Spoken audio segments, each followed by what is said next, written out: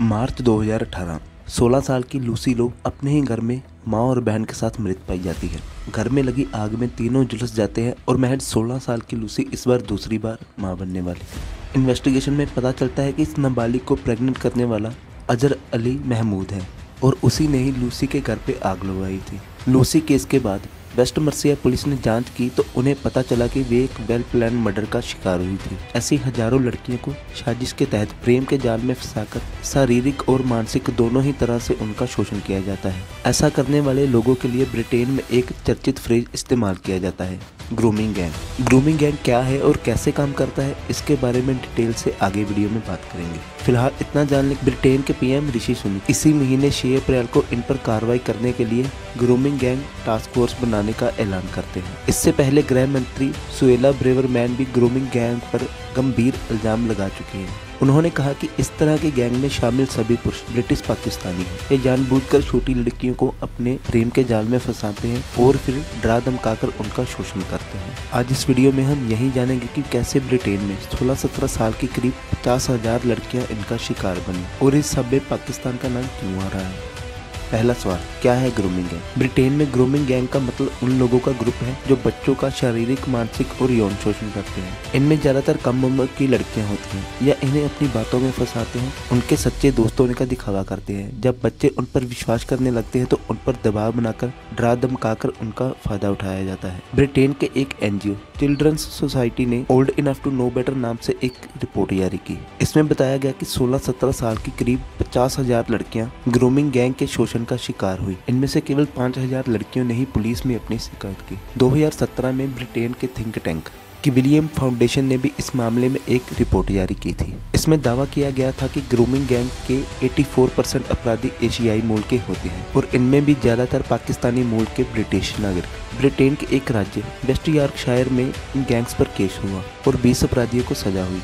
इस केस में सामने आया कि ग्रूमिंग गैंग्स छोटी और कमज़ोर लड़कियों को अपना निशाना बनाते हैं। वे विश्वास दिलाते हैं कि वे उनसे प्यार करते हैं, उनकी चिंता करते हैं। जब लड़कियाँ उन पर विश्वास करने लगती हैं तो धीरे धीरे उन्हें शोषण के जाल में फंसाया जाता है। इन लड़कियों को पार्टियों में ले जाया जाता है। शराब और ड्रग्स दिए जाते हैं। फिर इनसे उम्र में बड़े लड़कों और आदमियों के साथ संबंध बनाने के लिए मजबूर किया जाता है। उन्हें शराब, गांजे और बाकी ड्रग्स की लत लगाई जाती है, ताकि वे नशे में रहें और गैंग मेंबर्स की हर बात मानती रहें। ये लड़कियाँ समझ ही नहीं पाती कि उनका यौन शोषण हो रहा है। बीबीसी की एक रिपोर्ट के मुताबिक ग्रूमिंग गैंग्स के जाल में फंसी लड़कियाँ नाबालिग थी। कई की उम्र तो महज ग्यारह साल ही थी। लड़कियों ने कोर्ट में बताया कि उन्हें कार पार्क स्नूकर क्लब्स और कबाब हाउसेस ले जाया गया। यहाँ उन्हें ज़बरदस्ती किसी के साथ और कई बार एक से ज़्यादा लोगों के साथ संबंध बनाने के लिए मजबूर किया गया। इनमें से कई लड़कियाँ प्रेग्नेंट हुई और उन्हें अबॉर्शन कराना पड़ा। कई लड़कियों ने अपने बच्चों को जन्म दिया, लेकिन वो उनके पिता का नाम तक नहीं जानती थी। ये ग्रोमिंग गैंग्स पूरे ब्रिटेन में काम करते थे, लेकिन रोसडिल रादरहैम और टेलफार्ड राज्यों में इन्होंने सबसे ज़्यादा लड़कियों को शिकार बनाया। ग्रूमिंग गैंग्स ने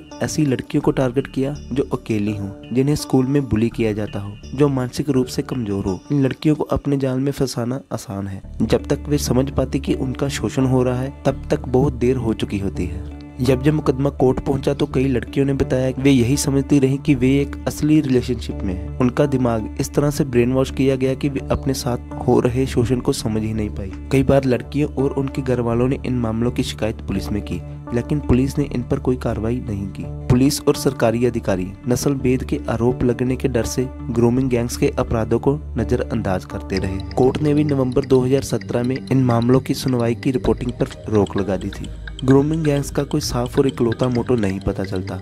उनके काम के पैटर्न से ही अंदाज़ा लगाया जा सकता है कि कम उम्र की ब्रिटिश लड़कियों को फंसाकर वो पैसों की उगाही करते हैं, यौन शोषण करते हैं। और प्रोस्टिट्यूशन में धकेलते हैं। उनके अश्लील वीडियो बनाकर उन्हें ब्लैकमेल किया जाता है। कई मामलों में इन लड़कियों की तस्करी के मामले भी सामने आए हैं। 2004 से 2011 के बीच वेस्ट यॉर्कशायर के हडसफील्ड में ग्रोमिंग गैंग के अपराधों पर कोर्ट ने सुनवाई की। पहली बार ग्रूमिंग गैंग्स के मामलों में इकतालीस लोगों को सजा सुनाई गई।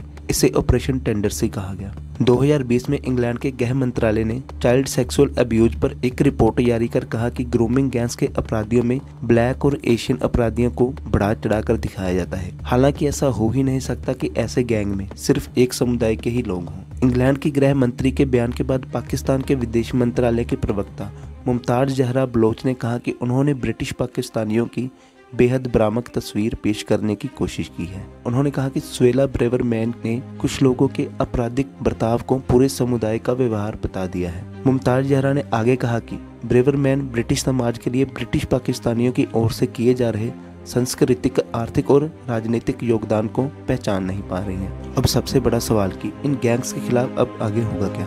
प्रधानमंत्री ऋषि शुनक ने ट्वीट कर इन गैंग्स पर लगाम लगाने के लिए उठाए जा रहे कदमों की जानकारी दी। उन्होंने बताया कि इसके लिए एक स्पेशल टास्क फोर्स बनाई जाएगी, जिसमें बच्चों के शोषण को समझने के लिए विशेष अधिकारी शामिल रहेंगे। उन्होंने यह भी बताया कि गैंग मेंबर्स को कड़ी से कड़ी सजा दी जाएगी। इसके साथ ही आरोपी किस नस्ल के हैं, इसका डेटा भी बनाया जाएगा। यह सब हवाई बातें हैं या फिर जमीनी स्तर पर इसके ऊपर काम भी होगा, यह तो आने वाला वक्त ही बताएगा। हमारा मकसद है ऐसे ही टॉपिक्स को उठाकर समाज में नॉलेज और अवेयरनेस फैलाना। वीडियो में दी गई सारी जानकारी इंटरनेट और न्यूज़ आर्टिकल से ली गई है, जिसका सोर्स लिंक डिस्क्रिप्शन बॉक्स में दे दिया गया है। जल्द ही मिलते हैं किसी नई वीडियो में। Till then keep watching and keep